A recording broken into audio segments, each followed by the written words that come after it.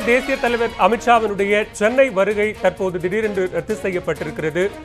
இன்றைக்கு அதிமுக பாஜக கூட்டணி தொடர்பான இறுதிக்கட்ட அறிவிப்பு முடிவு வெளியாகும் என்று எதிர்பார்க்கப்பட்ட நிலையில் காலை பதினோரு மணிக்கு பாஜக தேசிய தலைவர் அமித்ஷா சென்னை வருவதாக இருந்த பயணம் தற்போது திடீரென்று ரத்தாகி இருக்கிறது தொடர்பான மேலதிக விவரங்களை தர காத்திருக்கிறார். நம்முடைய செய்தியாளர் பிரகாஷ். பிரகாஷ் நீங்க தொடரலாம்.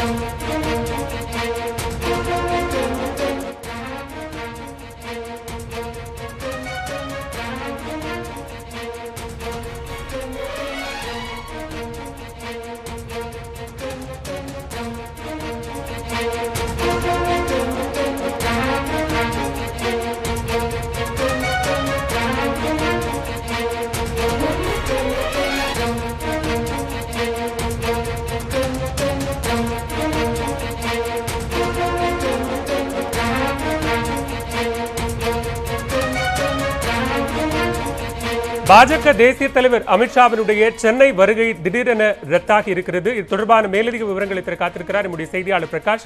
பிரகாஷ் விவரங்களை பதிவு செய்யலாம். அஹ், இன்று பாஜ- பாரதிய ஜனதா க- கட்சி பாரதிய ஜனதா கட்சியின் தேசிய தலைவர் அமித்ஷா மற்றும் தமிழகத்தின் மேல்டபுறாக இருக்கக்கூடிய அமைச்சர் பியூஷ் கோயல் ஆகியோர் சென்னை வந்து அதிமுகவுடனான கூட்டணி பேச்சுவார்த்தையை தொடங்குவதாக அதாவது அடுத்த கட்டமாக கூட்டணியை இறுதி செய்வதற்காக வருவார்கள் என்ற தகவல்கள் வெளியானது. அவர்களுக்கான விமானமும் கூட அவர்களுக்கான விமானமும் கூட தயாராக அந்த டிக்கெட்டுகள் பதிவு செய்யப்பட்டிருந்தன. ஆனால் தற்போது அஹ், திடீரென அதாவது பத்தே கால் மணிக்கு அமித்ஷா வருவார் என்றும் பதினோரு மணிக்கு பியூஷ் கோயல் வருவார் என்ற தகவல்கள் வெளியாகிய நிலையில் தற்போது அவர்களுடைய விமானங்கள் அனைத்தும் அந்த டிக்கெட்டுகள் தற்போது கேன்சல் செய்யப்பட்டிருக்கின்றன. அதாவது முதலமைச்சர் எடப்பாடி பழனிசாமியின் வீட்டில் கிரீன்வேஸ் ரோட்டில் இந்த சந்திப்பு நடைபெறும் என்று எதிர்பார்க்கப்பட்டது. அதே நேரத்தில் ஏற்கனவே முதற்கட்டமாக கடந்த பதினான்காம் தேதி நடைபெற்ற அந்த அஹ், கூட்டணி பேச்சுவார்த்தை அஹ், தங்கமணி அமைச்சர் தங்கமணி முன்னிலையில் பியூஷ் கோயல் கலந்து கொண்ட அந்த பொள்ளாச்சி அஹ், மகாலிங்கம் வீட்டில் நடைபெறும் என்றும் எதிர்பார்க்கப்பட்டது. தற்போது சூழலில் இந்த இருவருடைய விமானங்கள் கேன்சல் செய்யப்பட்டிருக்கின்றன. அதாவது அவர்களுடைய வருவை என்று தற்போது ரத்து செய்யப்பட்டிருக்கிறது. இதன் அடிப்படையில் இன்று நடைபெறுவாக இருந்த கூட்டணி பேச்சுவார்த்தை என்ற தகவல் தற்போது தற்போது முடிவாகவில்லை. எனவே அடுத்த கட்டமாக நாளையோ அல்லது இன்று இரவே கூட அவர்கள் வருவதற்கான தகவல்கள் இருக்கின்றன. அந்த அஹ், விமானங்களின் ப- பதிவுகளை பொறுத்துதான் அவர்கள் வருகை என்பது உறுதி செய்யப்படும் பாலா. பிரகாஷ் தற்போது பாஜக தேசிய தலைவர் அமித்ஷாவோடு தமிழக தேர்தல் பொறுப்பாளரும் மத்திய அமைச்சருமான பியூஷ் கோயல் அவர்களும் சென்னை வரவிருப்பதாக தகவல் வெளியாகி இருந்தது அவருடைய பயண திட்டத்தில் ஏதாவது மாற்றம் இருக்கிறதா? அல்லது கூட்டணி அறிவிப்பை பியூஷ் கோயல் வந்து அறிவிக்க வாய்ப்பு இருக்கிறதா? அதாவது அதிமுக தரப்பில் இருந்து இந்த கூட்டணி பேசுவதற்காக தலையசைக்கவில்லை அதாவது அவர்களிடமிருந்து ஒரு ஆதரவான பதில் வரவில்லை என்ற தகவலும் தற்போது வெளியாக இருக்கிறது. எனவேதான் இந்த இருவரது விமானங்களும் தற்போது அதாவது இவர்களுடைய தமிழக பயணம் என்பது ரத்தாயிருக்கிறதாக தகவல்கள் வெளியாக இருக்கின்றன தற்போது முதலமைச்சர் இல்லத்தில் அவர் இங்கிருந்து அதாவது முன்னாள் அமைச்சர் கோகுல இந்திராவின் தந்தை காலமாக இருக்கிறார். அவரை அவர் ஆஹ் இறுதி அஞ்சலி செலுத்துவதற்காக அண்ணா நகர் இல்லத்துக்கு செல்லவிருக்கிறார் இந்த சூழலில் இந்த கூட்டணி பேச்சுவார்த்தை என்பது தனியார் விடுதியில் நடைபெறும். அமித்ஷாவின் வருகையை அடுத்து ஒரு தனியார் விடுதியில் இரு இருவருக்குமான அதாவது அதிமுக பாஜகவுக்கான கூட்டணி பேச்சுவார்த்தை கே பி முனுசாமி வைத்திலிங்கம் ஆகியோர் அல்லது தங்கமணி வேலுமணி மணியில நடைபெறும் என்ற தகவல் வெளியாக இருந்தது. தற்போது பியூஷ் கோயலின் வருகையும் தற்போது ரத்தாகி இருக்கிறது. பியூஷ் கோயல் அடுத்த கட்டமாக தமிழகம் வருவதற்கான ஆஹ், அந்த ஆஹ், விவரங்கள் தற்போது பாஜகவில் இருந்து வெளியிடப்படும் என்று எதிர்பார்க்கப்படுகிறது. இன்று இரவே கூட அந்த பயணம் என்பது இருக்கலாம் என்ற தகவல்கள் வெளியாக இருக்கிறது பாலவே. நன்றி பிரகாஷ் உங்களுடைய விரிவான தகவல்களுக்கு நன்றி. பாஜக தேசிய தலைவர் அமித்ஷாவினுடைய சென்னை வருகை திடீரென ரத்து செய்யப்பட்டிருக்கிறது. அவருடைய பயணத்திட்டத்தின்படி இன்று காலை பதினோரு மணிக்கு அதிமுக பாஜக கூட்டணி குறித்த அதிகாரப்பூர்வ அறிவிப்பை வெளியிடுவார் என்று எதிர்பார்க்கப்பட்ட நிலையில் தற்போது அவருடைய வருகை ரத்து செய்யப்பட்டிருப்பதாக தகவல் வெளியாகியிருக்கிறது. அதே நேரத்தில் சென்னையில் தற்போது பாமக நிறுவனர் டாக்டர் ராமதாஸ் அமைச்சர் தங்கமணி இடையிலான சந்திப்பு நடைபெற்றுக் கொண்டிருக்கிறது. அதிமுக பாஜக கூட்டணியில் தேமுதிக பாமக ஆகிய கட்சிகள் இடம்பெறும் என்று பல்வேறு தகவல்கள் வெளிவந்து கொண்டிருந்த நிலையில் அது தொடர்பான அதிகாரப்பூர்வ அறிவிப்பு இன்று வெளியாகும் என்று எதிர்பார்க்கப்பட்டது. இந்நிலையில் அமித்ஷாவினுடைய வருகை திடீரென ரத்து செய்யப்பட்டிருக்கக்கூடிய சூழ்நிலையில் பாமக நிறுவனர் ராமதாசுடன் தமிழக அமைச்சர் தங்கமணி சந்தித்து பேச்சுவார்த்தை நடத்தி கொண்டிருக்கிறார்கள்.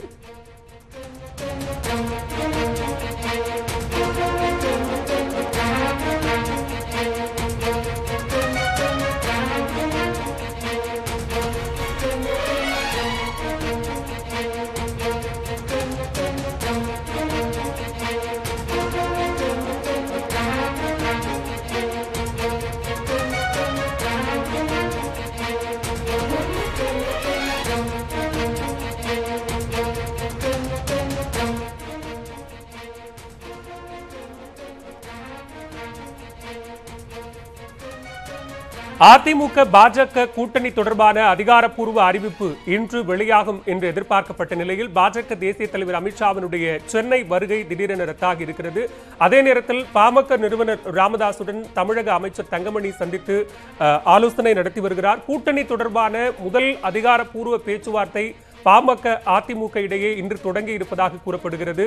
இது தொடர்பான கூடுதல் விவரங்களை தர காத்திருக்கிறார் எம்முடைய செய்தியாளர் கீதன். கீதன் விவரங்களை பதிவு செய்யலாம்.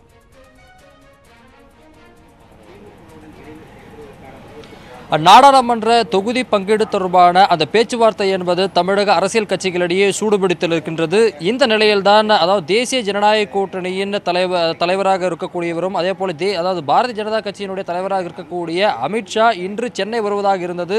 குறிப்பாக அவர் பாஜக கூட்டணியில் பாமக தேமுதிக அதிமுக ஆகிய கட்சிகளை இணைத்து நாடாளுமன்ற தேர்தலை சந்திப்பதற்கான அந்த வியூகங்களை தற்பொழுது வகுத்து வரக்கூடிய நிலையில்தான் தற்பொழுது கூட்டணியை இறுதி செய்வதற்காக பாஜக தேசிய தலைவர் அமித்ஷா இன்று தமிழகம் வருவதாக தெரிவித்திருந்தனர். அதே போல தமிழக பொறுப்பாளராக இருக்கக்கூடிய முரளிதர் ராவ் மத்திய அமைச்சராக இருக்கக்கூடிய பொன் ராதாகிருஷ்ணன் ஆகியோரும் இன்று அதாவது பாமக தலைவர்களையும் அதே போல தேமுதிக மற்றும் கூட்டணி தொடர்பான தலைவர்களை சந்தித்து பேச்சு நடத்துவார்கள் என்று தெரிவிக்கப்பட்டிருந்தது. இந்த நிலையில் தற்பொழுது பாமக நிறுவன தலைவர் ராமதாஸ் அவர்களுடைய மகன் அன்புமணி ராமதாஸ் அவருடைய வில்லம் இங்கு சென்னை தீநகரில் அமைந்திருக்கின்றது. இந்த இல்லத்தில் தற்பொழுது அமைச்சர் தங்கமணி பாமக நிறுவன தலைவர் ராமதாஸ் அவர்களை சந்தித்து கூட்டணி தொடர்பான பேச்சுவார்த்தையில் ஈடுபட்டு வருகின்றார்.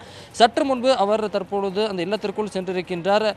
இந்த பேச்சுவார்த்தையின் போது பாமகவினுடைய இளைஞரணி தலைவராக இருக்கக்கூடிய அன்புமணி ராமதாஸ் அவர்களும் வடக்கினர் பாலு உள்ளிட்ட பாமகவினுடைய முக்கிய நிர்வாகிகள் இந்த பேச்சுவார்த்தையில் இடம்பெ இடம்பெற்றிருக்கின்றார்கள்.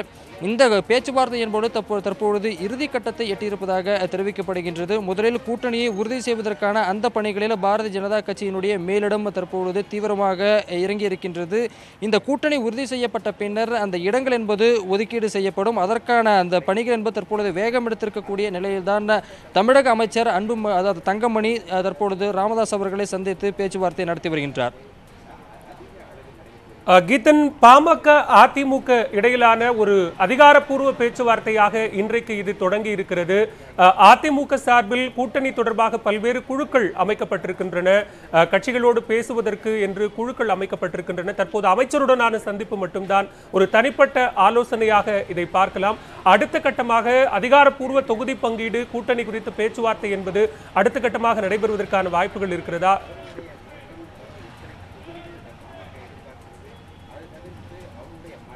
இல்லை பொதுவாகவே இரு தரப்பிலும் பேச்சுவார்த்தைக்கான அந்த குழுக்கள் அமைக்கப்பட்டு தொடர்ந்து எத்தனை தொகுதிகள் வேண்டும் என்னென்ன தொகுதிகள் வேண்டும் என்றெல்லாம் அவர்கள் ஏற்கனவே பேச்சுவார்த்தை நடத்தியிருக்கின்றார்கள். அந்த விவரங்களும் இரு கட்சியினுடைய மேலடு தலைவர்களிடம் தெரிவிக்கப்பட்டிருக்கின்றது.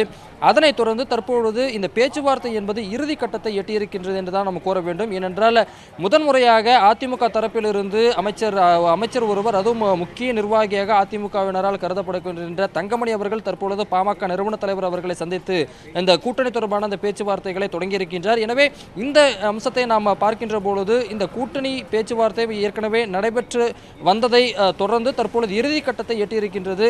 ஏற்கனவே அவர்கள் தரப்பில் தெரிவிக்கப்பட்ட எத்தனை தொகுதிகள் வேண்டும் என்னென்ன தொகுதிகள் வேண்டும் என்கின்ற அந்த விவரங்கள் எல்லாம் இரு கட்சி தலைவர்களுக்குமே தெரிவிக்கப்பட்டு விட்டன. அந்த அடிப்படையில் தற்பொழுது இதற்கு ஒரு இறுதி வடிவம் கொடுக்கின்ற வகையில் தான் இந்த பேச்சுவார்த்தை என்பது நடைபெற்று வருகின்றது. எத்தனை தொகுதிகள் வேண்டும் அதே போல என்னென்ன தொகுதிகள் தங்களுக்கு வெற்றி வாய்ப்பு இருக்கக்கூடிய அந்த தொகுதிகளை தான் இப்பொழுது பாமக அதிமுகவிடம் பேச்சுவார்த்தை நடைபெற்று வருகின்றது. தற்பொழுது நடைபெற்று வரக்கூடிய இந்த பேச்சுவார்த்தையில் தங்களுக்கு இந்தந்த தொகுதிகள் உறுதியாக வேண்டும். இத்தனை தொகுதிகள் இருந்தால்தான் நாங்கள் கூட்டணியில் தொடர முடியும் என்கின்ற அந்த விவரங்களை எல்லாம் ராமதாஸ் தரப்பில் தெரிவிப்பார்கள் என்று பாமக தரப்பில் தெரிவிப்பார்கள் என்று எதிர்பார்க்கப்படுகின்றது. இதனைத் தொடர்ந்து இந்த கூட்டணி என்பது இறுதி செய்யப்பட்டு அந்த இடங்கள் என்பதும் உறுதியாக முடிவு செய்யப்படும். அதிமுக பாமக இடையிலான அதிகாரப்பூர்வ முதல் பேச்சுவார்த்தை கூட்டணி பேச்சுவார்த்தை தற்போது தொடங்கி இருக்கிறது. பாமக நிறுவனர் ராமதாசுடன் தமிழக அமைச்சர் தங்கமணி அவர்கள் தற்போது சந்தித்து பேச்சுவார்த்தை நடத்தி வருகிறார்கள். சென்னை தியாகராய நகரில் உள்ள ராமதாஸ் அவர்களினுடைய அலுவலகத்தில் தற்போது இந்த பேச்சுவார்த்தை நடைபெற்று வருகிறது. பாரதிய ஜனதா கட்சியினுடைய தேசிய தலைவர் அமித்ஷா இன்று சென்னை வருகை தந்து அதிமுக பாஜகவுடைய கூட்டணியை அதிகாரப்பூர்வமாக அறிவிப்பார் என்று எதிர்பார்க்கப்பட்ட நிலையில் அவரது பயண திட்டம் திடீரென ரத்து செய்யப்பட்டிருக்கிறது. மத்திய அமைச்சரும் தமிழக பாஜக தேர்தல் பொறுப்பாளருமான பியூஷ் கோயல் அவர்களினுடைய வருகை சற்றேறக்குறைய இன்னும் உறுதி செய்யப்படவில்லை. அவர் சென்னை வருவார் என்று எதிர்பார்க்கப்படுகிறது. தொடர்ச்சியாக அதிமுக பாஜக இடையிலான தொகுதி பங்கீட்டு பேச்சுவார்த்தைகள் நிறைவு பெற்று இன்று அதிகாரப்பூர்வ அறிவிப்பு வெளியாகும் என்று எதிர்பார்க்கப்பட்ட நிலையில் இந்த பயணம் தற்போது திடீரென ரத்து செய்யப்பட்டிருக்கிறது. அதே நேரத்தில் பாமக அதிமுக உடனான அதிகாரப்பூர்வ கூட்டணி பேச்சுவார்த்தை தற்போது தொடங்கி இருக்கிறது. அதிமுக பாஜக கூட்டணி தொடர்பான அதிகாரப்பூர்வ இன்- அறிவிப்புகள் வெளியாகும் என்று எதிர்பார்க்கப்பட்டிருக்கக்கூடிய சூழ்நிலையில் தமிழக அரசியல் களம் ஒட்டுமொத்தமாக மக்களவைத் தேர்தலுக்கான தேர்தல் களம் சூடுபிடித்திருக்கிறது என்றே சொல்லலாம். இந்நிலையில் இந்த அமர்வில் நம்மோடு இணைந்து கருத்துக்களை பகிர்ந்து கொள்வதற்காக மூத்த பத்திரிகையாளரும் எழுத்தாளருமான திரு. மாலன் அவர்கள் நம்மிடையே இணைந்திருக்கிறார். அதே போன்று பத்திரிகையாளரான திரு. கோட்டீஸ்வரன் அவர்கள் நம்மிடையே இணைந்திருக்கிறார். வணக்கம். திருமாலன் இன்றைக்கு அதிகாரப்பூர்வமாக இந்த அறிவிப்பு வெளியாகும். அதிமுக பாஜக கூட்டணி என்கிற அந்த அறிவிப்பு தொடர்ச்சியாக எல்லாருமே சொல்லி வந்தாங்க. இது திரைமறைவில் நடக்கிற ரகசியமாக நடக்கிற அதிகாரப்பூர்வமற்று நடக்கிற பேச்சுவார்த்தை தான் அப்படின்னு சொல்லியிருந்தாங்க. இன்றைக்கு இது அதிகாரப்பூர்வமாக அறிவிக்கப்படும் என்று எதிர்பார்க்கப்பட்ட நிலையில அமித்ஷாவினுடைய பயணம் ரத்தாகி இருக்கிறது. எப்படி பார்க்குறீங்க? இல்லை நேற்று இரவு வரைக்கும் நீங்கள் சொல்வதை போன்ற ஒரு நிலைதான் இருந்தது. இன்றைக்கு அறிவிப்பு வெளிவரும் என்ற நிலைதான் இருந்தது. ஆனால் இன்றைக்கு அதிகாலையில் எனக்கு கிடைத்த தகவல்கள் எனக்கு கிடைத்த தகவல்கள் எல்லாம் ஊடக நண்பர்களிடமிருந்து கிடைத்த தகவல்கள் தான். அரசியல் கட்சிகளிடமிருந்து கிடைத்த தகவல்கள் அல்ல.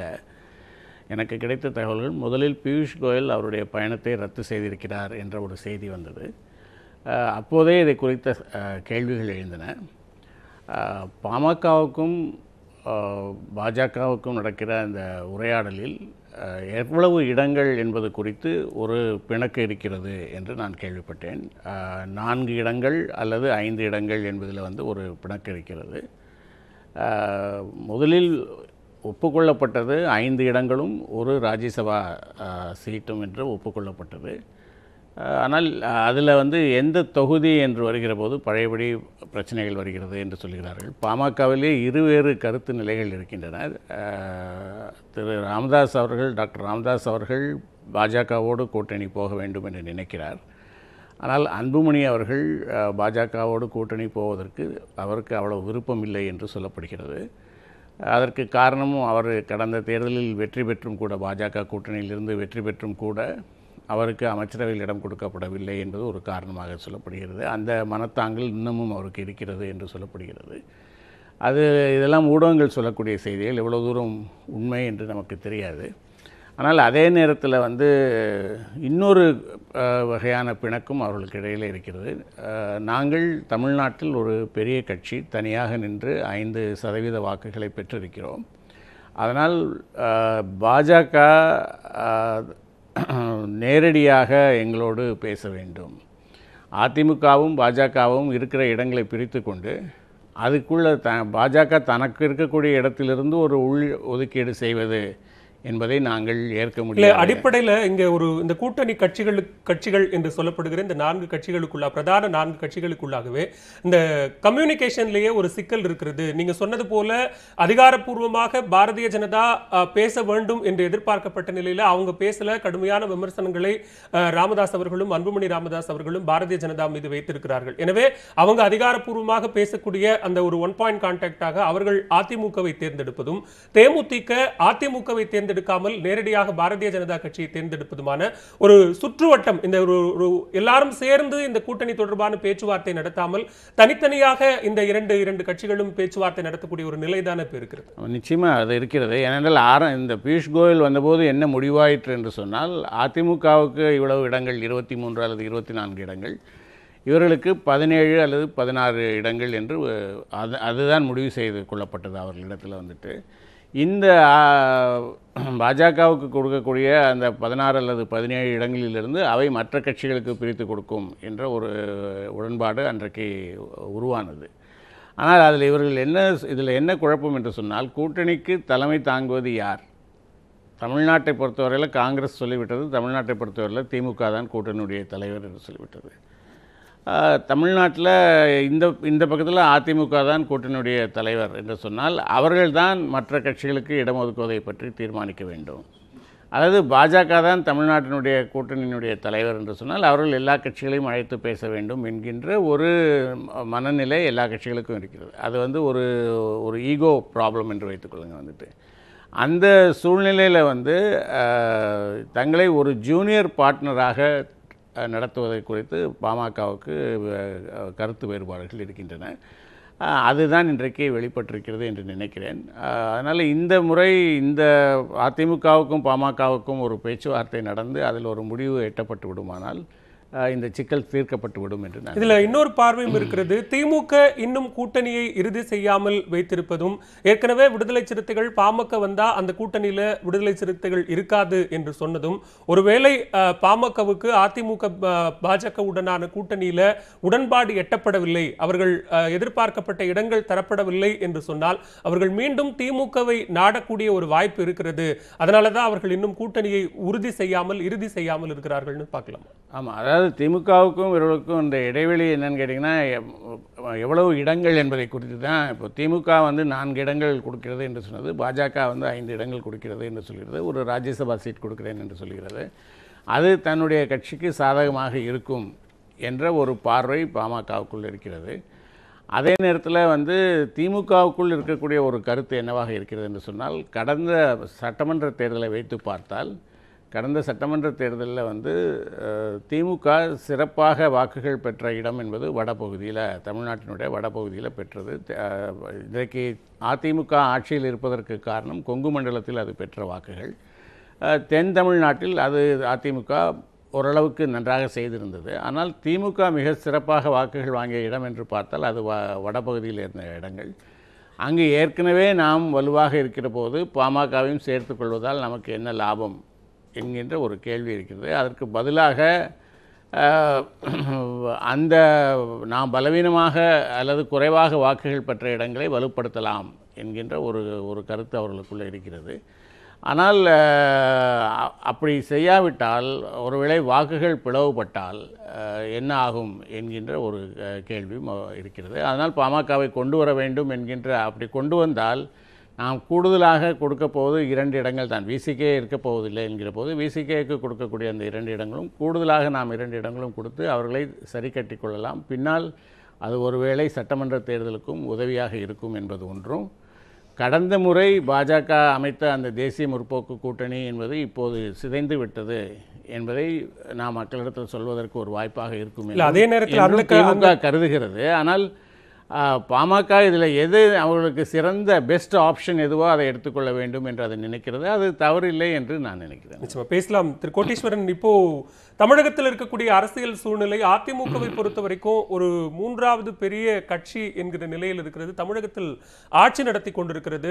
பாரதிய ஜனதாவுடனான பல்வேறு விமர்சனங்கள் இருந்தாலும் இது தேர்தலுக்கான கூட்டணி என்கிற பட்சத்தில் இங்க யார் இறங்கி போவது யார் ஏறி வருவது என்கிற ஒரு அந்த போட்டி நடந்து கொண்டிருக்கிறதா என்கிற கேள்வி ஒரு சாதாரண சாமானிய மக்களுக்கும் எழுகிறதா. எப்படி பார்க்குறீங்க? போட்டி இருக்கா அப்படின்னு பார்த்தீங்கன்னா இப்போ பாமகவை யார் இழுக்கிறது அப்படின்றதுல ஒரு போட்டி இருக்குது அதை தாண்டி என்ன இருக்குன்னா ஒரு ஒரு த ஆளுமை வந்து குறையுது. இப்போ இதே முன்னாடி காலகட்டத்தில் பார்த்தீங்கன்னா ஒரு பிரசிடென்ட்ஸ் வந்து தமிழ்நாடு எப்பயுமே செட் பண்ணியிருக்கு இந்த ரீசெண்ட் ஒரு லாஸ்ட் ஃபிஃப்டீன் இயர்ஸில் இப்போ ஜெயலலிதா அம்மையாரை பொறுத்தவரையிலும் மோடியா லேடியான்னாங்க. அதேமாதிரி இவர் திமுக தலைவர் வந்து பார்த்திங்கன்னா எதுவுமே வந்து ஒரு இந்த அளவுக்கு இல்லாமல் இருக்காது. அதாவது இந்த போல் டாக்ஸ் வந்து பிக்கப் ஆகும். எலெக்ஷன் மோ கிட்ட வரும்போது வந்து அதுக்கு உண்டு உண்டான விவாதங்கள் அப்புறம் போய் ஒருத்தர் வீட்டில் இன்னொருத்தர் பார்க்குறதுலாம் இருக்கும். பட் இப்போ பார்த்தீங்கன்னா இன்றைக்கி இருக்குது நாளைக்கு வந்துடும் இல்லை நாளன்னைக்கு வந்துடும் இன்னும் ஒரு பத்து நாள் ஆகும் அப்படின்ற மாதிரி ஒரு பேச்சு போகுது. இப்போ திமுகவை பொறுத்தவரை ஏன் இன்னும் கூட்டணி முடிவாகலைன்னா இப்போ சார் சொன்ன மாதிரி அவங்க வந்து பாமக வந்து அந்த ஒரு நாலு டு அஞ்சு பர்சன்ட் ஓட்டு வங்கி வந்து நமக்கு வேணும் அப்படின்னு அது ஒரு பார்வை இருக்குது இன்னொன்று இந்த இருபத்தோரு சட்டமன்ற தொகுதியில் நிறைய தொகுதி வந்து பாமக எங்கெல்லாம் வந்து வாக்கு வங்கி அதிகமாக வச்சுருக்காங்களோ அதுல கிட்டத்தட்ட ஒரு பத்துலேருந்து பன்னிரெண்டு தொகுதி அதுலேயும் வருது. ஸோ இது வந்து நாடாளுமன்ற இல்ல அப்படி பார்க்கிற போது நம்ம கடந்த கால தேர்தல் முடிவுகளையும் கொஞ்சம் ஒப்பிட்டு பார்க்க வேண்டிய கட்டாயம் இருக்குல்ல. அந்த இடங்கள்ல அதிமுக போட்டியிட்டு இருக்கிறது நல்ல பெரும்பான்மை வாக்குகள் பெற்று அவர்கள் வெற்றி பெற்றிருக்கிறார்கள். திமுக வேட்பாளர்கள் போட்டியிட்டு இருக்கிறார்கள் அப்படி அந்த மாதிரியான கடந்த கால தேர்தல் வெற்றிகளினுடைய முடிவுகளை அவர்களுக்கான வாக்கு வங்கி சதவீதம் அப்படியே தான் இருக்கிறது அப்படின்னு சொன்னாலும் அப்படியே அந்த தேர்தல் முடிவுகளை நம்ம ஒப்பிட்டு பார்க்க வேண்டிய கட்டாயம் இருக்குல்ல கரெக்டு சார். இது வந்து அந்த அந்தந்த கட்சியை சார்ந்தவங்களும் சொல்கிறது இப்போ ஊடகங்களை நம்ம வந்துட்டு எதையுமே ஒரு ஒரு ஸ்டாண்ட் எடுக்க முடியாது. பட் இன்னைக்கு வந்து பார்த்திங்கன்னா ஏடிஎம்கேக்கு இருந்த ஒரு பெரிய கரிஸ்மேட்டிக் லீடர் வந்து இன்னைக்கு கிடையாது. அவங்க வந்து பெண் வாக்காளர்கள் ஆகட்டும் இல்லை சிறுபான்மையினர் ஆகட்டும் எல்லா அதாவது அக்ராஸ் ஆல் பார்ட்டி கம்பேர் பண்ணும்போது லார்ஜஸ்ட் பார்ட்டியாக ஏடிஎம்கே இருந்துச்சு. இன்றைக்கி அந்த தலைவர் இல்லை. அதே மாதிரி திமுகவுக்கும் அந்த பிரச்சனை இருக்குது திமுகலேயும் வந்துட்டு அவர் வந்து திமுக தலைவர் வந்து ஒரு ஒரு நல்ல க்ரௌட் புல்லர் ஸோ அந்த மாதிரி ஒரு லீடர் இல்லாததுனால தான் ரெண்டுத்துலேயுமே வந்து கூட்டணி வந்து இன்னும் வந்து கரெக்டாக முடிவாகலை. ஏன்னா எல்லாருக்குமே ஒரு க்ளோஸ் கண்டஸ்ட்டாக இதை நினச்சிக்கிட்டு அவங்க வந்துட்டு யார் யாரை மேக்ஸிமம் இழுக்க முடியுமோ இழுத்துட்டு இருக்காங்க. ஒருவேளை இப்போ திமுக வந்து பாமகக்கு நாங்கள் கூட்டணி இல்லைன்னு முன்னாடியே சொல்லியிருந்தாங்கன்னா பாமகக்கு இந்த ஒரு ஒரு ப்ரைஸியான ஒரு சுச்சுவேஷன் மேபி இருந்திருக்காது. நிச்சயமாக தற்போது நமக்கு கிடைத்திருக்கக்கூடிய செய்தி முதலமைச்சர் எடப்பாடி பழனிசாமி அவர்கள் தற்போது அடையாறில் இருக்கக்கூடிய ஒரு நட்சத்திர விடுதிக்கு கூட்டணி பேச்சுவார்த்தைக்காக செல்கிறார் என்கிற தகவல் வெளியாகி இருக்கிறது. அங்கு அன்புமணி ராமதாஸ் அவர்கள் அந்த நட்சத்திர விடுதிக்கு வருகை தர இருக்கிறார் அதே போன்று தற்போதைக்கு கிடைத்திருக்கக்கூடிய தகவலின்படி தமிழக தேர்தல் பொறுப்பாளரும் மத்திய அமைச்சருமான பியூஷ் கோயல் அவர்கள் பனிரெண்டு பதினைந்து மணிக்கு சென்னை வரவிருக்கிறார். அவர் நேரடியாக விமான நிலையத்திலிருந்து அடையாறில் உள்ள கிரவுன் பிளாசா நட்சத்திர விடுதிக்கு செல்கிறார். அங்கு கூட்டணி குறித்த பேச்சுவார்த்தை நடைபெறும் என்று எதிர்பார்க்கப்படுகிறது. தற்போது பாமக நிறுவனர் டாக்டர் ராமதாஸ் மற்றும் தமிழக அமைச்சர் தங்கமணி இடையிலான பேச்சுவார்த்தை நடைபெற்றுக் கொண்டிருக்கக்கூடிய சூழ்நிலையில அடையாறில் இருக்கக்கூடிய நட்சத்திர விடுதிக்கு முதலமைச்சர் எடப்பாடி பழனிசாமி அன்புமணி ராமதாஸ் மற்றும் அதிமுகவினுடைய முக்கிய மூத்த நிர்வாகிகள் அங்கு செல்லக்கூடும் என்று எதிர்பார்க்கப்படுகிறது. திருமாலும் தற்போதைய நம்ம பேசலாம் தொடர்ந்து அதற்கு முன்னதாக நம்முடைய செய்தியாளர் கோகுல் மேலதிக விவரங்களை தர காத்திருக்கிறார். கோகுல் நீங்க தொடரலாம். நிச்சயம் அதாவது அதிமுக பாமக கூட்டணி ஏறக்குறைய உறுதி செய்யப்பட்டிருப்பதாக தற்போதைய தகவல் வெளியாகியுள்ளது. அமைச்சர் தங்கமணியும் அதனுடைய இளைஞரணி தலைவருமாக இருக்கக்கூடிய அன்புமணி ராமதாசருடைய சந்திப்பு இந்த கூட்டணியை உறுதி செய்திருப்பதாக தற்போதைய தகவலாக வெளியாகியுள்ளது. குறிப்பாக பனிரெண்டு மணிக்கு மேல் அதிகாரப்பூர்வமாக இந்த கூட்டணி அறிவிப்பு இருக்கும் என்று எதிர்பார்க்கப்படுகிறது. சென்னை அடையாறில் இருக்கக்கூடிய ஒரு நட்சத்திர ஹோட்டல்ல இந்த கூட்டத்தை அஹ், ஒரு சரியாக ஒரு பதினொன்று முப்பது மணிக்கு மேல் ஒரு கூட்டம் நடத்தப்படும். அதன் பின்பு பத்திரிகையாளர்களை சந்தித்து ஒரு அதிகாரப்பூர்வ கூட்டணி அறிவிப்பு இருக்கும் என்று எதிர்பார்க்கப்படுகிறது. இந்த அடையார் நட்சத்திர ஹோட்டலில் தற்பொழுது அதிமுக நிர்வாகிகள் இங்கு வர தொடங்கிவிட்டார்கள். அதிமுகவுடைய அமைப்பு செயலாளரும் டெ- டெல்லி பிரதிநிதியாக இருக்கக்கூடிய தலவாய் சுந்தரம் வந்துள்ளார். அதே போல வளர்மதி மனோஜ் பாண்டியன் உள்ளிட்ட அதிமுகவுடைய முன்னணி நிர்வாகிகள் எல்லாம் தற்போது இந்த ஹோட்டலுக்கு வர தொடங்கி விட்டார்கள். அதே போல அன்புமணி ராமதாசும் அமைச்சர் தங்கமணியும் ஒரு சேர இந்த ஹோட்டலுக்கு வருவார்கள் என்று எதிர்பார்க்கப்படுகிறது. இன்னும் சிறிது நேரத்தில் முதலமைச்சரும் அதிமுகவுடைய இணை ஒருங்கிணைப்பாளருமான எடப்பாடி பழனிசாமியும் அதே போல அதிமுகவுடைய ஒருங்கிணைப்பாளர் துணை முதலமைச்சருமான ஓபிஎஸ் உள்ளிட்ட அதிமுகவுடைய முக்கிய தலைவர்கள் அமைச்சர்கள் எல்லாம் இந்த இடத்திற்கு வர இருப்பதாகவும் சரியாக பனிரெண்டு மணி அளவிற்கு மேல் அதிகாரப்பூர்வமாக அதிமுக பாமக கூட்டணி இந்த நாடாளுமன்ற தேர்தலில் தமிழகத்தில் இணைந்து செயல்படும் என்ற ஒரு அறிவிப்பு வெளியாகும் என்று எதிர்பார்க்கப்படுகிறது. ஏறக்குறைய அந்த கூட்டணி தொகுதி பங்கீடு எல்லாம் உறுதி செய்யப்பட்டிருப்பதாக தகவல் கிடைத்துள்ளது. இன்னும் சற்று நேரத்தில் அந்த கூட்டமானது தொடங்க இருக்கிறது. அதற்கு முன்னேற்பாடாக எல்லா ஏற்பாடுகளும் அடையாறில் இருக்கக்கூடிய நட்சத்திர ஓட்டில் எல்லாம் செய்யப்பட்டுள்ளது. முன்னணி நிர்வாகிகள் எல்லாம் அதிமுகவுடைய நிர்வாகிகள் எல்லாம் இங்க வர தொடங்கிவிட்டார்கள் அமைச்சரும் அஹ், முதலமைச்சரும் துணை முதலமைச்சரும் இன்னும் ஒரு அரை மணி நேரத்திற்குள் இந்த இடத்திற்கு வந்து ஒரு சிறிய ஆலோசனை கூட்டம் அதிமுக சார்பில் நடத்தப்பட்டு அதன் பின்பு அதிகாரப்பூர்வமாக அதிமுக பாமக கூட்டணி அறிவிப்பு வெளியாகும்.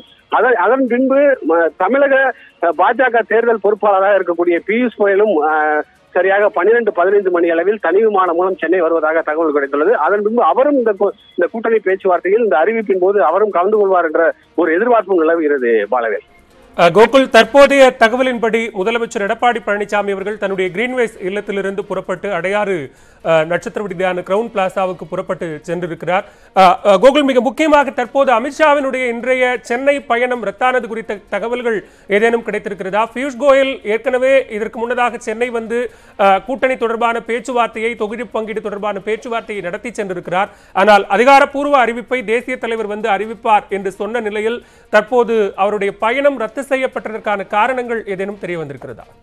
நிச்சயமாக பாலவேல். அதாவது மும்பையிலிருந்து தனி விமானம் மூலம் அமித்ஷா வந்து பாஜகவுடைய தேசிய தலைவர் அமித்ஷா வந்து இன்று சென்னை வந்து இந்த கூட்டணி பேச்சுவார்த்தை இறுதியாக முடித்த பின்பு அறிவிப்பு என்ற ஒரு எதிர்பார்ப்பு நிலவியது. ஆனால் அமித்ஷாவுடைய பயணம் திடீரென ரத்து செய்யப்பட்டிருப்பதாக தற்போதைய தகவல் வெளியாகியுள்ளது. அதே போல மும்பையிலிருந்து பியூஷ் கோயல் சென்னை வருவதாக முதற்கட்டமாக தகவல் வெளியாகியது. அவர் பனிரெண்டு மணி அளவில் பதினோரு மணி அளவில் முதலில் சென்னை வருவார் என்ற எதிர்பார்ப்பு நிலவியது. ஆனால் அந்த விமானத்தில் அவர் பயணிக்கவில்லை. பன்னிரண்டு பதினைந்து மணி அளவில் தனி விமானம் மூலம் சென்னை வருவதாக தகவல் கிடைத்துள்ளது.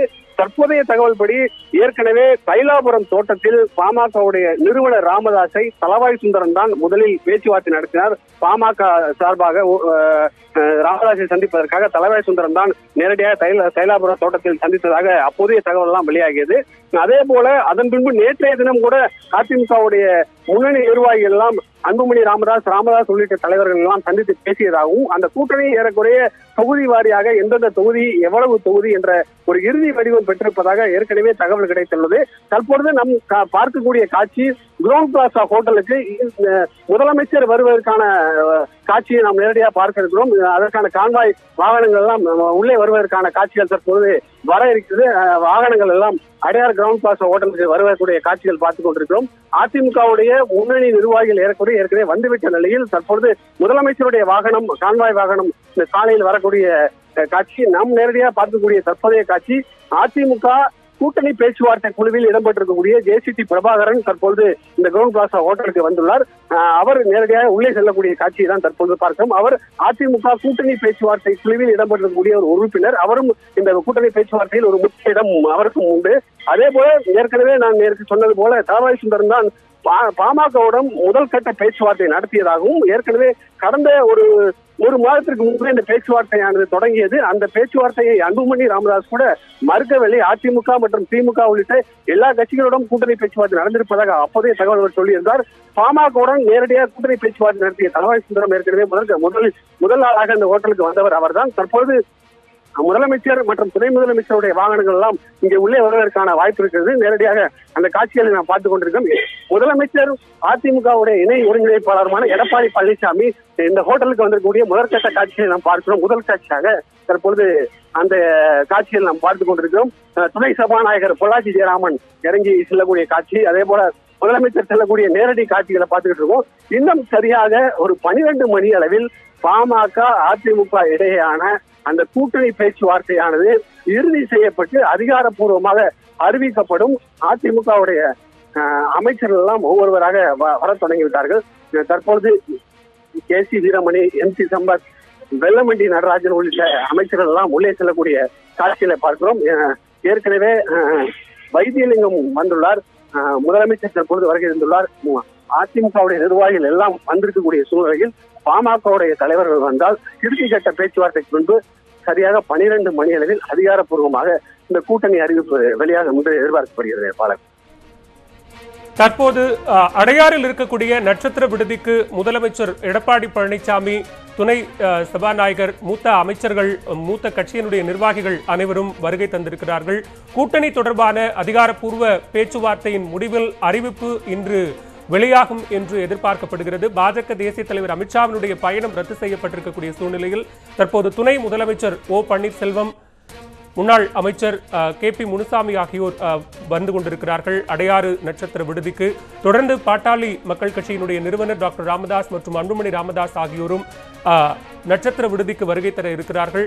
பாஜக தமிழக தேர்தல் பொறுப்பாளரும் மத்திய அமைச்சருமான பியூஷ் கோயல் பனிரெண்டு மணிக்கு அடையாறு நட்சத்திர விடுதிக்கு வருகை தந்து பேச்சுவார்த்தையினுடைய முடிவில் கூட்டாக செய்தியாளர்களை சந்தித்து அதிகாரப்பூர்வ அறிவிப்பை வெளியிடுவார்கள் என்று எதிர்பார்க்கப்படுகிறது. தொடர்ந்து தொடர்பான கருத்துக்களை நம்மிடையே அரசியல் ஆர்வலர்களும் அரசியல் விமர்சகர்களும் மூத்த பத்திரிகையாளர்களும் முன்வைத்துக் கொண்டிருக்கிறார்கள். அந்த வகையில் இந்த அமர்வில் நம்மோடு இணைகிறார் அரசியல் விமர்சகர் திரு. கலை அவர்கள். அவரையும் வரவேற்கலாம். வணக்கம். திருமாலன் தற்போது இன்றைக்கு அந்த பயணம் ரத்து செய்யப்பட்டிருந்த சூழ்நிலையில் திடீரென ஏதோ மாற்றங்கள் நடைபெற்றிருக்கிறது. ஆனால் இன்றே அது இறுதி வடிவம் பெறும் என்று தெரிகிறது. பீஷ் கோயலினுடைய வருகை அனைவரும் தற்போது அந்த நட்சத்திர விடுதியில் இணைந்திருக்கிறார்கள். இது நம்ம ஏற்கனவே பேசியது போல பாமகவும் அந்த இடத்திற்கு வருகிறது. இது ஒட்டுமொத்தமாக அனைவருமே இங்கு சந்தித்து பேசி ஒரு ஒருமித்த முடிவை எட்டுவார்கள் என்று எதிர்பார்க்கலாம். ஆமாம் இது நான் முதல்ல சொன்ன மாதிரி ஒரு ஈகோ பிரச்சனை தான் அதில் இருந்தது. அதில் இந்த இடங்கள் எல்லாம் ஓரளவிற்கு முடிவு செய்யப்பட்டு விட்டன. அந்த அந்த ஈகோ பிரச்சனையும் சமாதானப்படுத்தப்பட்டு விட்டால் இந்த அறிவிப்பு வரும் என்று நான் முதல்ல முதல் குரலிலே சொன்னேன் நான் வந்துட்டு. எனக்கு தெரிந்து அக்- ஜனவரி மாத நடுவிலிருந்து இந்த பேச்சுவார்த்தைகள் தொடங்கிவிட்டன. எல்லா கட்சிகளோடும் பாஜக தன்னுடைய பேச்சுவார்த்தையை தொடங்கிவிட்டது. பியூஷ் கோயல் இங்கு வருவதற்கு இருபது நாட்களுக்கு முன்பாகவே பேச்சுவார்த்தைகள் தொடங்கிவிட்டன. என்ன ஒரு வித்தியாசம் என்று சொன்னால் அரசியல்வாதிகள் அந்த பேச்சுவார்த்தைகளை நடத்தவில்லை. ஒரு தேர்ட் பார்ட்டி மூலமாக அந்த பேச்சுவார்த்தைகள் நடத்தப்பட்டன. தொழிலதிபர் என்று சொல்கிறார்கள் அல்லது வேறு சில தேர்ட் பார்ட்டி மூலமாக அந்த பேச்சுவார்த்தைகள் நடத்தப்பட்டன. அதனால் பல விஷயங்கள் வெளியில் தெரியாமல் இருந்தது. அவர் நண்பர் கொடீஸ்வரன் சொன்னதைப் போல இதில் வந்து ஒரு டிரான்ஸ்பரன்சி என்பது இல்லாமல் இருந்தது. அதற்கு பல காரணங்கள் இருக்கின்றன. ஏனென்றால் இந்த முறை தேர்தல் போட்டி என்பது மிக நெருக்கமான ஒரு போட்டியாக இருக்கும். அதனால் ஒவ்வொரு கட்சியினரும் தங்களுடைய வியூகங்களை உரிய நேரத்தில் வெளிப்படுத்தி கொள்ளலாம். என்று அந்த அதை பகிரங்கப்படுத்தாமல் இருந்தார்கள் என்பதுதான் அதற்கு பின்னால் இருக்கக்கூடிய காரணம். பல காரணங்கள்ல அதிமுக முதல்ல தயக்கம் காட்டியது. பாஜக உடனான கூட்டணிக்கு பாஜக விரும்பி வந்தாலும் கூட அதிமுக தயக்கம் காட்டியது. கடந்த காலத்துல ஜெயலலிதா அவர்கள் மோடியோடு பாரதிய ஜனதாவோடு கூட்டணி கிடையவே கிடையாது அப்படின்னு சொன்ன விஷயங்கள் அதற்கு பிறகாக நடைபெற்ற விஷயங்கள் பல சம்பவங்கள் அதிமுக தைரியமாக கூட்டணி வைப்பதற்கு தடையாக இருந்தது அப்படின்னு சொல்லலாம். ஆமாம் அது வந்து உண்மைதான். அவர்களிடத்தில் வந்து தயக்கம் இருந்தது. தயக்கம் இருந்ததற்கு இரண்டு காரணங்கள். முதல் காரணம் கடந்த முறை முப்பத்தேழு தொகுதிகளில் அவர்கள் வெற்றி பெற்றார்கள். இந்த முறை கூட்டணி என்று போகிற போது ஏற்கனவே எம்பிக்களாக இருக்கிற பலருக்கு அந்த இடங்களை மறுக்க வேண்டிய ஒரு சூழ்நிலை வரும். நிச்சயமாக. தொடர்ந்து பேசலாம். தற்போது பாமக நிறுவனர் டாக்டர் ராமதாஸ் அவர்கள் கூட்டணி பேச்சுவார்த்தை நடைபெறவிருக்கிற அடையாறு நட்சத்திர ஓட்டலான கிரவுன் பிளாசாவுக்கு வருகை தந்திருக்கிறார். அவரை அதிமுகவினுடைய மூத்த நிர்வாகிகள் வரவேற்கக்கூடிய நேரலை காட்சிகளை நாம் பார்த்துக் கொண்டிருக்கிறோம். பாஜக தேமுதிக பாமக உள்ளிட்ட அதிமுகவுடனான கூட்டணி பேச்சுவார்த்தை இன்று இறுதி வடிவம் பெறும். அதன் தொடர்பான அறிவிப்பு வெளியாகும் என்று சொல்லப்பட்ட நிலையில் தற்போது ஏற்கனவே முதலமைச்சர் துணை முதலமைச்சர் மூத்த நிர்வாகிகள் அனைவரும் வருகை தந்திருந்த நிலையில் தற்போது பாமக நிறுவனர் ராமதாஸ் மற்றும் அன்புமணி ராமதாஸ் ஆகியோர் அடையாறு கிரவுண்ட் பிளாசா நட்சத்திர விடுதிக்கு வருகை தந்திருக்கிறார்கள். அதன் நேரலை காட்சிகளை பார்த்துக் கொண்டிருக்கிறோம்.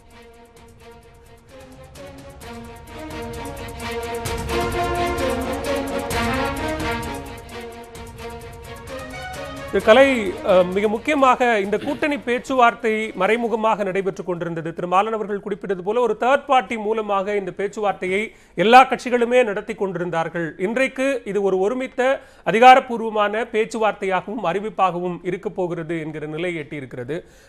ராமதாஸ் அவர்களும் அன்புமணி ராமதாஸ் அவர்களும் கடுமையான விமர்சனங்களை ஆளும் அதிமுக அரசு மீது வைத்திருக்கிறார்கள். ஏன்? மத்திய பாஜக அரசு மீதும் வைத்திருக்கிறார்கள். இன்றைக்கு நடைபெற இருக்கக்கூடிய இந்த கூட்டணி பேச்சுவார்த்தைகள் அத்தனை கசப்புகளையும் மறந்த ஒன்றாக இருக்க போகிறது. எப்படி பார்க்கலாம்? ஒரு ஒரு ஐந்து இடங்கள் ஒரு ராஜ்யசபா உறுப்பினருக்கான இடம் என்கிற இந்த இந்த டிமாண்ட் மட்டும்தான் பாமகவினுடையது அப்படின்னு பார்க்க முடியுமா? இல்லை கூட்டணிகள் எல்லாம் கொள்கை கூட்டணிகள் அல்ல. கொள்கை ரீதியாக கூட்டணிகள் இப்போது எங்கும் இல்லை. எல்லாமே ஒரு லெஃப்ட் ஃப்ரண்ட் கேரளாவில் வெஸ்ட் பெங்காலில் லெஃப்ட் ஹண்ட் டெமோக்ராட்டிக் ஃப்ரண்ட்டு கேரளாவில். இது வேணால் ஒருமித்த கருத்தோடு ஒரு கொள்கையோடு கூட்டணியாக இருக்கலாம். இப்போ கூட்டணி என்பது வெறும் சீட் ஷேரிங் தான். இருக்கிற சீட்டு எண்ணி தொகுதிகளை தங்களுக்குள் எப்படி பிரித்து கொள்வது? ஒவ்வொருத்தருடைய பலத்தின் அடிப்படையில் என்பது தான் இப்போ கூட்டணி என்பது. கூட்டணியில் கொள் கொள்கை மாச்சரியங்கள் தாராளமாக இருக்கலாம். அப்படி பார்த்தா திமுகவுக்கும் காங்கிரஸுக்கும் இடையில் கூட்டணி என்பது கொள்கை கூட்டணி இல்லை. அவர்களும் ஒருவர் ஒருவர் கடுமையாக விமர்சித்து கொண்டிருக்கிறார்கள். திமுகவால் தான் தங்கள் கூட்டணிக்கு ஊழல் கூட்டணி என்ற கெட்ட பெயர் வந்தது என்று காங்கிரஸ்காரர்கள் சொன்னார்கள். கூடா நட்பு கேடாய் முடிந்தது என்று அந்த கூட்டணியை விட்டு வெளியேறும்போது திரு கருணாநிதி அவர்கள் சொன்னார்கள். அந்த கூடா நட்பு இப்போது கேடான நட்பு இப்போது கூடி வந்திருக்கிறது.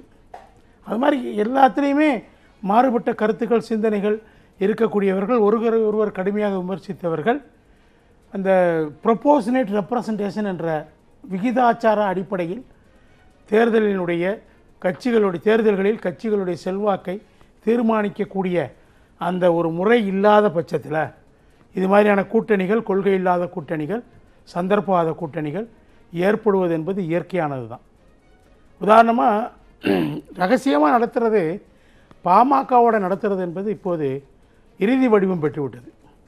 திமுகவோடு பாமக கூட்ட பாமக திமுகவோடும் பேசிக்கொண்டிருந்தது அதிமுகவோடும் பேசிக்கொண்டிருந்தது. இப்போது அது இறுதி வடிவம் பெற்ற பிறகு வெளிப்படையாக பேசுகிறார். ஒரு கட்டம் வரைக்கும் இறுதி வடிவம் பெறாத வரைக்கும் பல கட்சிகள் பல கூட்டணிகளோடு பேசிக் கொண்டிருக்கும்போது அது குறித்து வெளிப்படையாக சொல்லாமல் ரகசியமாகத்தான் அந்த செயல்கள் இயற்கையாகவே நடக்கும். ஆனால் ஒரு கட்டத்துக்கு பின்னாடி அந்த கூட்டணி உறுதியாகி விட்ட நிலையில் அவங்க வந்து வெளிப்படையாக நடத்துகிறாங்க இன்றைக்கி பாருங்கள் வெளிப்படையாக நடத்துகிறாங்க அதே மாதிரி பாஜகவோடு கூட கூட்டணி தொடர்பான பேச்சுவார்த்தையை பேச தயங்குகிறது. அதே நேரத்துல தேமுதிக நேரடியாக அதிமுகவோடு பேச தயங்குகிறது. அப்படிங்கிற அந்த ஒரு கம்யூனிகேஷன் கேப் அந்த கட்சிகளுக்குள்ளாக இருக்கிறது. இருக்கு, இருக்கு. அந்த அந்த பிரச்சனை தற்போது முடிவுக்கு வந்துரும். இந்த இன்றே இன்றே அந்த அறிவிப்புக்குள்ளாக அந்த பிரச்சனை முடிவுக்கு வந்துரும்னு எதிர்பார்க்கலாமா? அது தேர்தல் வரைக்கும் தொடருமா? இல்லை அது இன்றே முடியும்னு நம்ம எப்படி சொல்ல முடியும்? இன்றைக்கு எது முடியுதுன்னா பாமகவுக்கும் அதிமுகவுடைய கூட்டணி இப்போ பேச்சுவார்த்தையில் முடிய போகுது. தெரிவிக்க போகிறாங்க மற்றபடி தேமுதிகலாம் இன்னும் அவங்க தலைவர் உடல்நலம் இல்லாமல் இருக்கிறாரு. அவர் சரியாகி வரணும். அவர் தான் சொல்லுவாருன்னு சொல்கிறாங்க அவங்க வந்து நீங்கள் சொன்ன அது கரை சரியான விஷயம். பாஜகவுக்கு இது த பாஜக மீது பாமகவுக்கு கோபம் இருக்கிறது. அன்புமணி ராமதாஸ் அவர்கள் எம்பி ஆனப்போ அவருக்கு அமைச்சர் பதவி கொடுக்க பாஜக மறுத்து விட்டது அந்த கோபம் அவர்களுக்கு இருக்கிறது. அதே நேரத்தில் இந்த பக்கம் இது இது அதிமுகவோடு தேமுதிக கூட்டணி சேர்ந்து பிறகு பிரதான எதிர்க்கட்சியாக வந்து ஆனால் அவர்களுக்குள்ளே இருக்கக்கூடிய உறவுகள் மிக மோசமான கட்டத்திற்கு போய் ஒருவர் ஒருவரை தாக்கி கொள்ளும் அளவிற்கு சென்றது. அதனால் தேமுதிக மீது கடுமையான அவர் தலைவர் மீது கடுமையான விமர்சனங்களை அதிமுக வைத்தது. அவர் மிக தனிப்பட்ட முறையிலையும் கூட. அவங்களும் அதே மாதிரி தனிப்பட்ட முறையில் ஜெயலலிதா அம்மையார் மீது கடுமையான குற்றச்சாட்டுகளை வச்சாங்க. இவ்வளவுக்கு பின்னாடி இப்போது திடீரென்று அதிமுகவோட தலைமையோடு உட்காந்து பேசுவதில் அவங்களுக்கு சிக்கல் இருக்கலாம். அதனால் அவங்க பாஜக ரூட்டில் உள்ளே வர பார்க்குறாங்க. திரு பாலன் இந்த புள்ளியை தான் நம்ம கொஞ்சம் விரிவா பேசணும்னு நினைக்கிறேன். இது தலைவர்கள் பேசி விடுவார்கள் தலைவர்கள் முடிவு முடிவு செய்து விடுவார்கள் கூட்டணியை அறிவித்து விடுவார்கள். ஆனா களத்துல வேலை செய்ய போறது தொண்டர்கள். இந்த நான்கு கட்சியினுடைய தொண்டர்களும் ஒரு ஒருமித்த பார்வையோடு வாக்காளர்களை மக்களை அணுகுவார்களா? அவர்கள் களத்தில் ஒன்றிணைந்து வேலை செய்வார்களா? இன்- இங்கேயே இப்படி ஒரு அஹ், தொடர்பு சிக்கல் இருக்கிற போது களத்தில் அது எதிரொலிக்க வாய்ப்பு இல்லையா அது ஓரளவுக்கு எதிரொலிக்கும். இப்போ கடந்த ம மக்களவைத் தேர்தலின் போது பார்த்தீங்கன்னா தேசிய ஜனநாயக கூட்டணியில் வந்துட்டு தேமுதிகவும் இருந்தது பாமகவும் இருந்தது. தருமபுரியில் தர்மபுரியில் பாமக போட்டியிட்டது சேலத்தில் தேமுதிக போட்டியிட்டது. தர்மபுரியில் தேமுதிகவினுடைய வாக்குகள் பாமகவுக்கு சென்றது. ஆனால் சேலத்தில் பாமகவினுடைய வாக்குகள் தேமுதிகவுக்கு செல்லவில்லை என்று அவர்களே வந்து அவங்க குற்றம் சாட்டினாங்க. இது வந்து இந்த ட்ரான்ஸ்ஃபர் ஆஃப் ஓட்ஸ் என்று சொல்வது உண்டு. அது அந்த ட்ரான்ஸ்ஃபர் ஆஃப் ஓட்ஸ் வந்து பார்ட்டியிலேருந்து சில நேரங்கள் சில குறிப்பிட்ட கட்சிகள் வந்து யார் கூட்டணியில் இருந்தாலும் அந்த மாற்றம் நடந்துவிடும். சில கட்சிகளில் வந்து நடக்கவே நடக்காது. அது இது எல்லா கூட்டணிகளிலும் இருக்கக்கூடிய பிரச்சனை. இந்த முறை எல்லா கூட்டணிகளுக்குமே இப்போ இப்போ திமுக கூட்டணியிலும் கூட முரண்பட்ட கட்சிகள் ஒன்றிணைந்து செயல்பட வேண்டிய ஒரு கட்டத்துக்கு அவர்கள் வருவார்கள். இப்போ உதாரணமாக பார்த்தீங்கன்னா காங்கிரஸுக்கும் விசிகேக்கும் இருக்கக்கூடிய உறவு என்பது அதை இப்போது அண்மை காலமாக அவர்கள் நெருங்கி வராங்க காங்கிரஸும் விசிகேயும் ஆனால் இலங்கை பிரச்சனையின் போது மிக மோசமான எதிர்நிலையில் இருந்தாங்க. அந்த நேரத்திலேயே வந்து சென்னையில் நடந்த கூட்டத்தில் திருமாவளவனுக்கு சோனியா காந்தி அவர்கள் கையால் அந்த ஒப்பந்தத்தை கொடுக்குற காட்சிகள்லாம் பார்த்தோம். அது வந்துட்டு எனவே நண்பர் கலை சொன்னதைப் போல் தேர்தலில் வந்து என்ன நடக்கும் என்று கேட்டிங்கன்னா அந்த அரித்மெட்டிக் என்பது தான் அதில் வந்து முக்கியமான ஒரு விஷயமாக இருக்கும். அந்த கெமிஸ்ட்ரி என்பது ஒரு முக்கியமான விஷயமாக இருக்காது. அந்த சூழ்நிலையில் வந்து வாக்காளர்கள் என்ன செய்ய போகிறார்கள்? கட்சி சார்ந்த வாக்காளர்கள் என்ன செய்ய போகிறார்கள் என்ற கேள்வி வருகிற போது அதில் அந்த இருக்கக்கூடிய கேண்டிடேட்டு அந்த கேண்டிடேட்டுக்கும் அவர் அந்த உள்ளூரில் இருக்கக்கூடிய அந்த கட்சிக்காரர்களுக்கும் இருக்கக்கூடிய உறவு அல்லது அந்த கேண்டிடேட் வந்து அந்த அந்த கட்சிக்காரர்களை எப்படி சமாளிக்கிறார் என்பதை பொறுத்தது. இந்த மாதிரி பல விஷயங்கள் அதில் வந்து சம்மந்தப்பட்டிருக்கும் ஆனால் கட்சிகள் வந்து அப்படி இருந்தும் ஏன் இதை போன்ற ஒரு கூட்டணிக்கு போகின்றன என்று சொன்னால் நடுநிலை வாக்காளர்களை தங்கள் பக்கம் ஈர்ப்பதற்கான ஒரு வழியாக இதை அவர்கள் பார்க்கிறார்கள். கட்சியினுடைய வாக்குகள் என்பது ஒரு இருபது சதவீதத்துக்குள்ளே இருக்கும். மீதி வாக்குகள் நடுநிலை வாக்காளர்களிடமிருந்து வரணும். நடுநிலை வாக்காளர்களிடமிருந்து வரும்போது ஒரு வலுவான கூட்டணி இது வெ- வெல்லக்கூடிய கூட்டணி என்கின்ற ஒரு தோற்றத்தை ஏற்படுத்தினா நடுநிலை வாக்காளர்களுடைய வாக்குகளை பெறுவதற்கு எளிதாக இருக்கும் என்பதுதான் அந்த கூட்டணிக்கு பின்னால் இருக்கக்கூடிய அந்த கூட்டணி கணக்குகளுக்கு பின்னால் இருக்கக்கூடிய ரகசியம் என்பது. திரு கோட்டீஸ்வரன் இது கம்ப்ளீட்டாக ஒரு நம்பர் கேம் தான். இதில் வந்து வேறு எந்த விதமான கணக்குகளும் இல்லை. இது இந்த விளையாட்டு மட்டும்தான் தேர்தலில் பிரதானமான ஒன்று அப்படின்னா மத்திய மத்தியில் ஆட்சி செய்து கொண்டிருக்கக்கூடிய பாரதிய ஜனதாவும் மாநிலத்தில் அதிமுகவும் கூட்டணி வைக்கிற போது இரண்டு கட்சிகளினுடைய செயல்பாடுகள் அவர்களினுடைய திட்டங்கள் அது மக்கள்கிட்ட எப்படி பிரதிபலித்து இருக்கிறது அதில் இருக்கக்கூடிய திருப்தி அதிருப்தி எல்லாமே சேர்ந்து தான் அந்த நம்பர் கேமில் எதிரொலிக்கும் அப்படின்னு எதிர்பார்க்கலாம். அது எந்த அளவுக்கு சாத்தியம் இருக்குது சாத்தியம்னா நீங்கள் சொன்ன மாதிரி இது வந்து ஹண்ட்ரட் பர்சன்ட் நம்பர் கேம் தான். இப்போது தமிமுன் அன்சாரி கருணாஸ் அதுக்கப்புறம் தம்பிதுரை அப்புறம் பொன்னேன். அதாவது இவங்கெல்லாம் வந்து அதிமுகவில் கூட்டணியிலையோ இல்லை கட்சி நிர்வாகிகள். இப்போ இவங்களே வந்துட்டு என்ன சொல்கிறாங்கன்னா அடிமட்ட தொண்டனுக்கும் நிறைய நிர்வாகிகளுக்கு வந்து இந்த கூட்டணி பிடிக்கல அப்படின்ட்டு நேற்று வரலும் கூட பேசியிருந்தாங்க. இப்போ ஒரு மூணு நாலு நாளாக கொஞ்சம் குறைச்சிருக்காங்க. ராஜேந்திர பாலாஜியும் முன்னாடி பேசியிருக்காரு. ஸோ இந்த மாதிரி ஒரு கருத்து வந்து அதிமுகவில் ஸ்ட்ராங்காகவே இருந்துச்சு. மேபி இப்போ அலையன்ஸ் அனௌன்ஸ் பண்ணுறதுனால இனிமேல்ட்டு வந்து அந்த பேசுறது கம்மி பண்ணலாம். பட் அதாவது எல்லாருமே திமுக ஆகட்டும் அண்ணா திமுக பப்ளிக்கை வந்து வழி இல்ல நீங்க கூட்டணி இறுதி செய்யப்பட்ட பிறகு பேச முடியாது பப்ளிக்கை வந்து they're taking them for granted நீங்கள் வந்து நேற்று வரலும் எதிர்த்து பேசுவீங்க முந்தா நேற்று வரலாம் அறிக்கை விடுவீங்க. திடீர்னு வந்து ஒரு ஒரு மெலோ டவுன் பண்ணிவிட்டு ஒரு யூ டர்ன் போட்டால் வந்து எல்லா அரித்மெட்டிக்கும் ஏற்றுக்குவாங்கன்னு நினைக்கிறாங்க. ஃபார் எக்ஸாம்பிள் தெலுங்கானாவில் டிடிபியும் காங்கிரஸும் வந்து சேர்ந்து நின்னாங்க. பட் அந்த அங்கே வந்து ஓட்டு வந்து ட்ரான்ஸ்ஃபர் ஆகலை. இது மாதிரி நிறைய வாட்டி நம்ம பார்த்துருக்கோம். போன வாட்டி வந்து மூன்றாவது கூட்டணி ஒன்று அமைச்சாங்க மக்கள் நல கூட்டணி. அது வந்து அங்கே அந்த அஞ்சு நாலு மூணு அது டிரான்ஸ்ஃபரே ஆகலை. ரெண்டு பேர் ஜெயிச்சாங்க. ரெண்டு பேர் ஆனால் ஸ்ட்ராங் கேண்டிடேட் பொன் ராதாகிருஷ்ணன் வந்து ஜெயிச்சா மந்திரி அப்படின்றது பப்ளிக் வந்து ரொம்ப தெளிவான ஒரு முடிவு எடுத்தாங்க கன்னியாகுமரியில். அதே மாதிரி அன்புமணி ராமதாஸும் ஜெயிக்கிறதுக்கு வாய்ப்பு இருக்குது அப்படின்றதுனால ஆனாங்க பட் மற்ற சார் சொன்ன மாதிரி மற்ற தொகுதியில் எதுலையுமே அந்த ஓட்டு வந்து ட்ரான்ஸ்ஃபர் ஆகல. ஸோ பப்ளிக் வந்து இன்றைக்கி என்ன கேட்டால் வந்து கிளாரிட்டி வந்து அவங்கக்கிட்ட கொஞ்சம் ஜாஸ்தியாக இருக்குது கொஞ்சம் கொஞ்சம் ஸ்மார்ட்டாக இருக்காங்க. எனக்கு நம்ம இன்னமும் வந்து பொலிட்டிக்கல் பார்ட்டி என்னோட டவுட்டும் அதுதான். நீங்க இருக்கக்கூடிய வாக்கு சதவீதத்தினுடைய அடிப்படையில ஒரு கூட்டணியை உறுதி செய்றீங்க. அதன் அடிப்படையில தான் அவர்களுக்கான இடங்களை ஒதுக்குறீங்க அப்படின்னா இப்ப இருக்கக்கூடிய அந்த கணக்கு வேறாக இருக்கிற போது அவர்களுக்கான வெற்றி வாய்ப்பை நம்ம எப்படி தீர்மானிக்க முடியும்? இந்த கூட்டணியில் இருக்கக்கூடிய கூட்டணிக்கு தலைமை தாங்குகிற கட்சிகள் அதை எந்த அடிப்படையில அஹ், பாக்குறாங்க இல்லை சார் இப்போ இன்றைக்கி பொறுத்தவரையில் இந்த எலெக்ஷன் வந்துட்டு பிஎம் யாருன்றது டிசைட் பண்ணுற ஒரு எலெக்ஷன் கேண்டிடேட் செலெக்ஷனு அப்புறம் பிரச்சாரம் பண்ணுற யுக்தி அதுக்கப்புறம் ஒரு ரெயின்போ அலைன்ஸ் மாதிரி ஃபார்ம் பண்ணுறதுலாம் வந்து secondary third factors so first வந்து இந்த தேர்தல் வந்து மோடி வர்சஸ் மேபி ராகுல் காந்தியா இல்லை வேறு யார் பிஎம் கேண்டிடேட் ஸோ அது வந்து பப்ளிக்கு கண்டிப்பாக ரீச் ஆகும். ஸோ அது வந்து என்ன கேட்டால் ஒரு மிகப்பெரிய போல் பிளாங்காக இருக்கும். ஸோ அதுக்கு உண்டான வேலைகளுக்கு வந்துட்டு இவங்கக்கிட்ட ஒரு ஸ்ட்ராங் பிஎம் கேண்டிடேட்டோ இல்லை ஸ்ட்ராங் ரெப்ரசன்டேஷனோ அதிமுகவில் இல்லை. அதனால் அவங்க என்ன பண்ணுறாங்கன்னா ஒரு ரெயின்போ அலையன்ஸ் ஃபார்ம் பண்ணுறாங்க ஏன்னா டிஎம்கே வந்து அந்த சைடு சாலிடாக ஒரு ஒரு அலையன்ஸை ஃபார்ம் பண்ணியிருக்காங்க பட் இப்போவுமே வந்து மேபி திமுக தலைவர் இருந்திருந்தாருன்னா அந்த வேலைகள்லாம் அவங்க இன்னும் கொஞ்சம் இன்னொரு முக்கியமான விஷயமும் இருக்கிறது ஏற்கனவே சொன்ன மாதிரி மூன்றாவது பெரிய கட்சியாக இந்த கேள்வி நான் உங்களிடமே முன்வைக்கிறேன். மூன்றாவது பெரிய கட்சியாக இருந்து அத்தனை நாடாளுமன்ற உறுப்பினர்கள் சென்று அவர்களுக்கான உரிய துணை பொறுப்புகள் கூட அமைச்சரவை பொறுப்புகள் கூட வழங்கப்படாத நிலையில இன்றைக்கு பொறுப்புகள் வழங்கப்படும். அமைச்சரவையில இடம் கொடுக்கப்படும் என்கிற ஒரு புள்ளியை வச்சுத்தானே அதிமுகவை அவர்கள் கூட்டணிக்கு அழைப்பதற்கான வாய்ப்புகள் இருக்கிறது. கோட்டீஸ்வரன் சொன்ன மாதிரி ஒரு ஸ்ட்ராங் கேண்டிடேச்சர் இங்க ஒரு ஆளுமை அதிமுகவில் இல்ல. அவர்கள் அவர்கள் போகிற போது இந்த மாதிரியான குறைந்தபட்ச அமைச்சரவை பதவிகளுக்காகத்தான் கூட்டணிக்குள்ள போக முடியும் அப்படிங்கிற நிலைதானே இன்னைக்கு அதிமுகவுக்கு உருவாகி இருக்கு. இல்லை இல்லை இதில் தான் இதில் அதிமுகவுக்குள்ள இருந்த எதிர்ப்புகளுக்கான காரணங்கள் என்னென்னா நான் முதல்ல சொன்ன மாதிரி முப்பத்தேழு எம்பிக்களில் வந்து குறைந்தது அவங்க வந்து ஒரு பதினைந்து எம்பிக்களையாவது அவங்க இப்போது எம்பிக்களாக இருக்கிறவர்களுக்கு இடத்தை மறுக்க வேண்டிய ஒரு சூழ்நிலை வரும். இந்த கூட்டணி ஏற்பட்டால். அது தம்பிதுரை நாடாளுமன்றத்திலே சொன்னார். அது அதனால் வந்து அவர்களுக்கான ஒரு கிரீவன்ஸ் என்பது ஒன்று இருக்குது இரண்டாவது என்னன்னு கேட்டிங்கன்னா நீங்கள் கடந்த தேர்தலை வைத்து பார்க்கிற போது நாடாளுமன்ற தேர்தலில் வந்து அவர் சொன்னதைப் போல் பிரதமர் வேட்பாளர் என்பது ஒரு மிக முக்கியமான ஒரு அம்சமாக இருக்குது. கடந்த மக்களவைத் தேர்தலில் திமுகவினுடைய பிரதமர் வேட்பாளர் யார் என்பது வந்து திமுகவால் சொல்ல முடியல. ஆனால் ஜெயலலிதா வந்து எங்களுடைய பிரதமர் வேட்பாளர் நான் தான் என்று அவரால் சொல்ல முடிந்தது.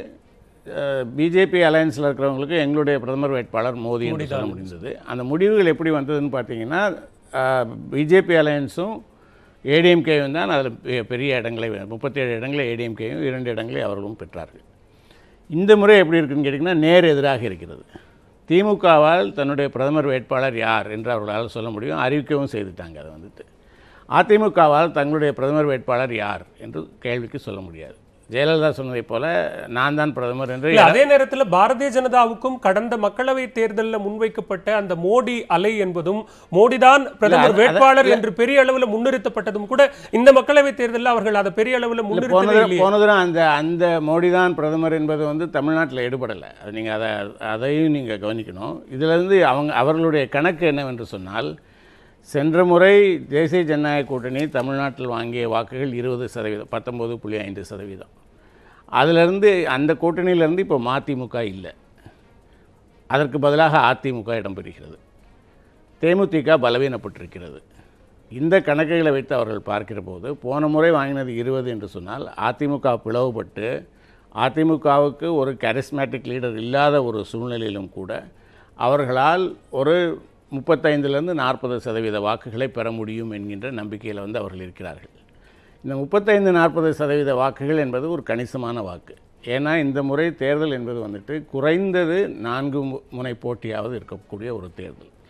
அந்த குறைந்த நான்கு முனை போட்டியில் வந்து பாஜகவுக்கு எதிரான வாக்குகளில் வாக்குகள் பிரிவதற்கான வாய்ப்புகள் இருக்கிறது. தினகரன் தனியாக போட்டியிடுவார் கமலஹாசன் தனியாக போட்டியிடுவார். எல்லாம் சின்ன சின்னதாக ஒரு பர்சன்ட் ரெண்டு பர்சன்ட்டில் அவங்க இது பண்ணால் கூட சென்ற முறை மக்க சட்டமன்ற தேர்தலில் வந்து திமுக ஆட்சி ஆட்சியமைக்கும் வாய்ப்பை இழந்ததற்கு காரணம் வந்து இந்த ஒரு சதவீத வாக்கு என்பது. அதனால் அது மிக முக்கியமானதாக கருதப்படும். அந்த பாஜகவுக்கு எதிரான வாக்குகள் மூன்று நான்காக பிரிகிற போது அது இன்னும் இவர்களுக்கு வலு சேர்க்கும் என்கின்ற ஒரு நம்பிக்கை பல்முனை போட்டி குறித்தும் வாக்கு சிதறல்கள் குறித்தும் இன்னும் விரிவாக பேசியிருக்கிறோம். அதிமுக பாஜக பாமக கூட்டணி இன்னும் சற்று நேரத்தில் உறுதி செய்யப்பட இருக்கிறது. அதற்கான அதிகாரப்பூர்வ அறிவிப்பு வெளியாக இருக்கிறது. நேரலை காட்சிகளையும் சிறப்பு அமர்வில் விருந்து